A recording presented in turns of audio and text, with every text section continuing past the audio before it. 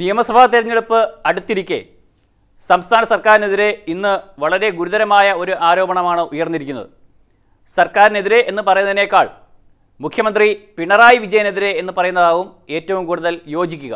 കാരണം കൃത്യമായി മുഖ്യമന്ത്രിയുടെ പേര് പരാമർശിക്കുന്ന രീതിയിലാണ് ഈ ആരോപണം ഉയർന്നിട്ടുള്ളത്. ഈ കേസുമായി ബന്ധപ്പെട്ട് കസ്റ്റംസ് കോടതിയിൽ സമർപ്പിക്കാനിരിക്കുന്ന സത്യവാങ്മൂലത്തിലെ ചില പരാമർശങ്ങളാണ് ഇപ്പോൾ മാധ്യമങ്ങൾ പുറത്തുവിട്ടിട്ടുള്ളത്. അതനുസരിച്ചാണ് എങ്കിൽ സ്വപ്ന സുരേഷ് മജിസ്ട്രേറ്റ് നൽകിയ മജിസ്ട്രേറ്റിന് മുന്നിൽ നൽകിയ രഹസ്യമൊഴിയുടെ പകർപ്പുകളാണ് ഇപ്പോൾ വാർത്തകളായി പുറത്തു വരുന്നു വന്നുകൊണ്ടിരിക്കുന്നത്. സ്വപ്ന സുരേഷ് പറയുന്നതനുസരിച്ച് ഈ വാർത്തകൾ ശരിയാണ് എങ്കിൽ സ്വപ്ന സുരേഷ് പറഞ്ഞിരിക്കുന്നത് ഇങ്ങനെയാണ്.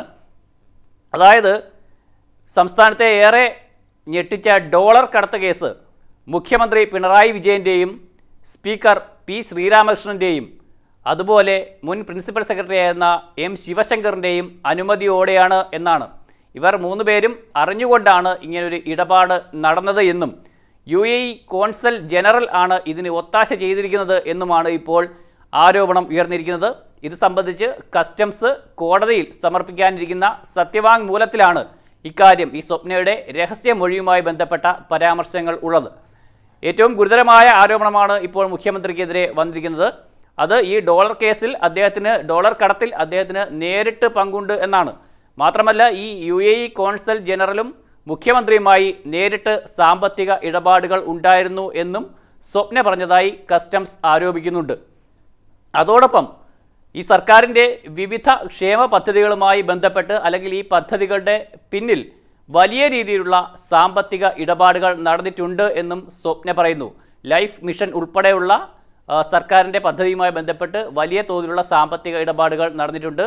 പല ഉന്നതർക്കും വൻ തോതിൽ കമ്മീഷൻ ലഭിച്ചിട്ടുണ്ട്. അതിന്റെ കണക്കുകളെല്ലാം തനിക്ക് കൃത്യമായിട്ടറിയാം. ഇത് പുറത്ത് പറയരുത് എന്ന് ജയിലിൽ വെച്ച് തന്നെ ഭീഷണിപ്പെടുത്തി.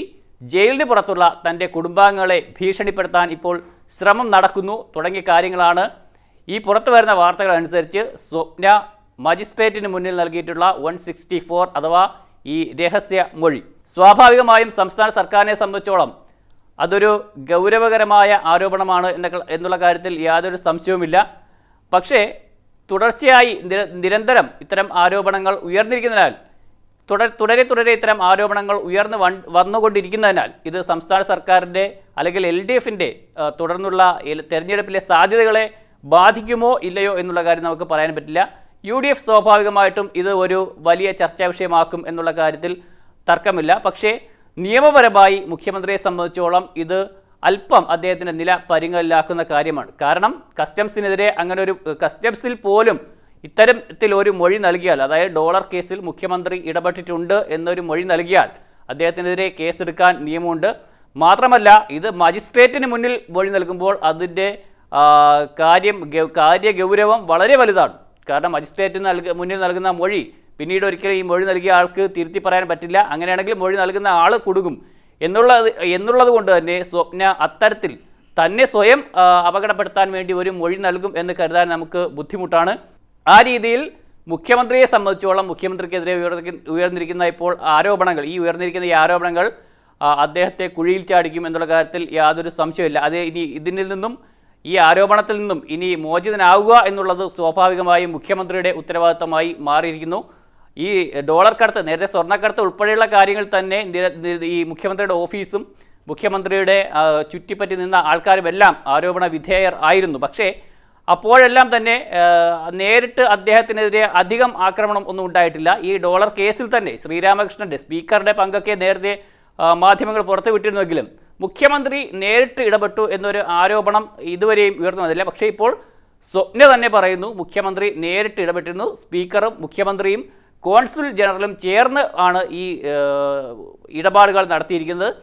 ഇവരുടെ രണ്ടുപേരുടെയും മുഖ്യമന്ത്രിയുടെയും സ്പീക്കറുടെയും നിർദ്ദേശത്തെ തുടർന്നാണ് കോൺസുൽ ജനറൽ ഇടപെട ഇടപാ ഇടപാടുകൾക്കെല്ലാം കൂട്ടുനിന്നത് എന്നും പറയുന്നു.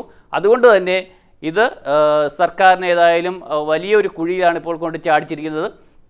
മാത്രമല്ല ഈ ഒരു ലക്ഷത്തി തൊണ്ണൂറായിരം കോടി ഡോളർ ആണ് വിദേശത്തേക്ക് കടത്തിയത്. അത് സ്വപ്നയും ഈ യു എ ഇ കോൺസുൽ കോൺസുലേറ്റിലെ ഉദ്യോഗസ്ഥനായിരുന്ന ഈജിപ്ഷ്യൻ സ്വദേശിയായ ഒരു ഖാലിദും ചേർന്നാണ്. ഈ രണ്ടുപേരും ചേർന്നാണ് ഈ പണം ഡോളർ വിദേശത്തേക്ക് കടത്തിയത്. അതായിരുന്നു നമ്മുടെ സംസ്ഥാനത്ത് ഏറെ വിവാദമായ ഒരു സംഭവം. ഈ സംഭവത്തിലാണ് ഇപ്പോൾ സ്വപ്നയുടെ മൊഴി പുറത്തു വരുന്നത്. അത് പിന്നിൽ മുഖ്യമന്ത്രിയും സ്പീക്കറും ഉണ്ട് എന്നും അവരുടെ നിർദ്ദേശത്തെ തുടർന്നാണ് ഇത് ചെയ്തതെന്നും. സ്വാഭാവികമായിട്ടും അതിന് മറുപടി പറയേണ്ടത് മുഖ്യമന്ത്രിയും സ്പീക്കറും അതുപോലെ മറ്റ് മൂന്ന് മന്ത്രിമാരുടെ പേര് കൂടി ഉയർന്നു വരുന്നുണ്ട്. ഈ മന്ത്രിമാരുമാണ്. ഈ പുറത്തു വരുന്ന വാർത്തകൾ എത്രമാത്രം വിശ്വാസയോഗ്യമാണ് എന്നുള്ളത് നമുക്ക് ഇപ്പോൾ പറയാൻ പറ്റില്ല. പക്ഷേ മാധ്യമങ്ങൾ അത് പുറത്തുവിടുന്നു. മാധ്യമങ്ങൾ അത് പുറത്തുവിടുമ്പോൾ സ്വാഭാവികമായിട്ടും അത് കസ്റ്റംസിൽ നിന്ന് തന്നെയായിരിക്കും ആ വാർത്ത കിട്ടിയിട്ടുണ്ടാവുക. ഏതാനും മാസങ്ങളായി ഈ സ്വപ്നയെയും സരിത്തിനെയും ഈ ഡോളർ കടത്ത് കേസിൽ കസ്റ്റംസ് ചോദ്യം ചെയ്യുന്നുണ്ടായിരുന്നു. പക്ഷേ ഇപ്പോഴാണ് ഇത് സംബന്ധിച്ച മൊഴി പുറത്തു വന്നിരിക്കുന്നത്.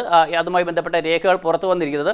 എന്തുകൊണ്ട് ഇത്രയും കാലം വൈകി എന്ന് ചോദിച്ചാൽ അതിന് കസ്റ്റംസും മറുപടി പറയേണ്ടി വരും. ഒരുപക്ഷെ ഉന്നതരായ പല ആൾക്കാരുടെയും പേര് ആ മൊഴിയിൽ ഉള്ളതുകൊണ്ട് തന്നെ സ്വാഭാവികമായും കേന്ദ്ര സർക്കാരിന്റെയും മറ്റുമൊക്കെ ഒരു അനുവാദത്തോടു കൂടി മാത്രമേ ഇത് പുറത്തുവിടാൻ ഒരുപക്ഷെ അവർക്ക് അറിയാ അതിനുള്ള അധികാരമേ അവർക്ക് ഒരുപക്ഷെ ഉണ്ടായിരിക്കുകയുള്ളൂ അല്ലെങ്കിൽ ഇത് കോടതിയിൽ സമർപ്പിക്കുന്നതിന് മുമ്പ് മറ്റ് കേന്ദ്രത്തിലെ ഉന്നതരുമായ ഒരുപക്ഷെ അവർ മറ്റ് ഉന്നത ഉദ്യോഗസ്ഥരുമായും ഒക്കെ അവർക്ക് ബന്ധപ്പെടേണ്ട ആവശ്യം ഉണ്ടായിരുന്നിരിക്കണം ഒരുപക്ഷെ എന്താണ് അതിന്റെ കൃത്യമായ കാര്യമെന്ന് നമുക്ക് പറയാൻ പറ്റില്ല. ഏതായാലും ഇപ്പോൾ ഈ പേരുകളെല്ലാം പുറത്തു വന്നിട്ടുണ്ട്. മുഖ്യമന്ത്രിക്കെതിരെയും സ്പീക്കർക്കെതിരെയും മൂന്ന് മന്ത്രിമാർക്കെതിരെയും വളരെ ഗുരുതരമായ ഒരു ആരോപണം ഇപ്പോൾ പുറത്തു വന്നിരിക്കുന്നു. എന്താകും ഇത് കേരളത്തിന് ഇനി ഏത് രീതിയിലായിരിക്കും വരും ദിവസങ്ങളിൽ ഈ ആരോപണത്തിന്റെ പുകമറയിൽ നിന്നും സർക്കാർ രക്ഷപ്പെടാൻ ഇനി എന്ത് മാർഗമാവും സ്വീകരിക്കുക അല്ലെങ്കിൽ എന്ത് മറുപടിയാകും മുഖ്യമന്ത്രി പറയുക എന്നുള്ള കാര്യം ഇനി വരും ദിവസങ്ങൾ മാത്രമേ നമുക്ക് പറയാൻ പറ്റൂ. ഏതായാലും ഇപ്പോഴത്തെ അവസ്ഥയിൽ സർക്കാരിനെ സംബന്ധിച്ചോളം വലിയൊരു തിരിച്ചടിയാണ് അല്ലെങ്കിൽ വളരെ ഗുരുതരമായ ഒരു ആരോപണത്തിന്റെ മുൾമുനയിൽ തന്നെയാണ് നമ്മുടെ സർക്കാർ. പ്രത്യേകിച്ചും നമ്മുടെ മുഖ്യമന്ത്രി പിണറായി വിജയൻ.